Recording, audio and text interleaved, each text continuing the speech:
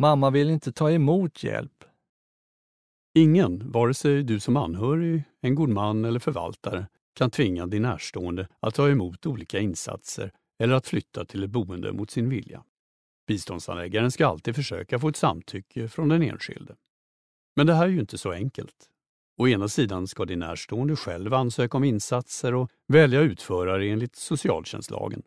Å andra sidan blir det svårt att själv ansöka om insatser om hon kommit en bit in i sjukdomen. Samtidigt har kommunen det yttersta ansvaret för sina invånare. Att Greta nekar till insatser kan bero på att hon inte förstår abstrakta begrepp som till exempel boende eller dagverksamhet. Det kan också bero på bristande sjukdomsinsikt. Trots att Patrik vet att hon behöver hjälp kan hon som regel inte tvingas enligt lagstiftningen. Men det betyder inte att socialtjänsten kan låta bli att försöka hjälpa.